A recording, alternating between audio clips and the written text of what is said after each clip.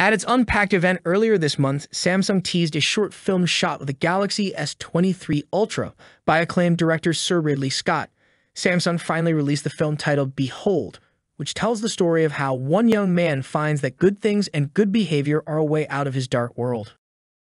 Just shy of the four-minute runtime mark, it follows a young man as he navigates challenges including hostile authorities and lands in an abandoned place where he rescues a horse. The protagonist proceeds to guide the horse into pristine wilderness until it gallops away on its own. The film concludes with a poem recited by Jeremiah Sugar J. Brown, who garnered quite some fame with a composition called I'm Rooting for Everybody Black, which was written in response to the Hollywood blockbuster Black Panther. The film shows the distinctive filmmaking style of Scott in great detail, but it has clearly been color graded and was shot using professional gear such as stabilizing mounts.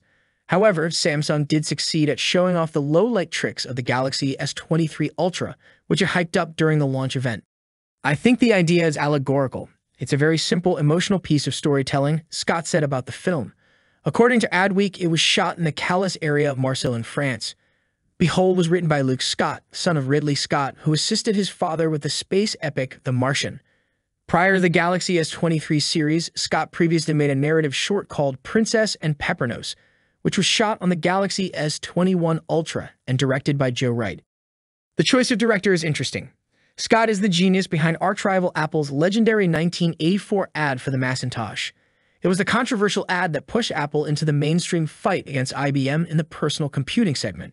With the Galaxy S23 series, Samsung is looking to steal some thunder from Apple's latest Pro iPhones, which also upped the ante with a 48-megapixel camera and some impressive pro-grade videography chops.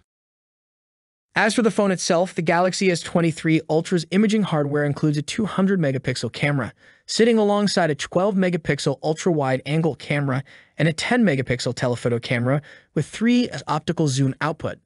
The second telephoto camera relies on the folded lens system and delivers 10 optical 30x hybrid and 100x space zoom range.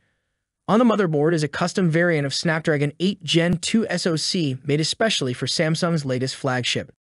What do you think about this short film? Comment below. See you in the next video. Peace out.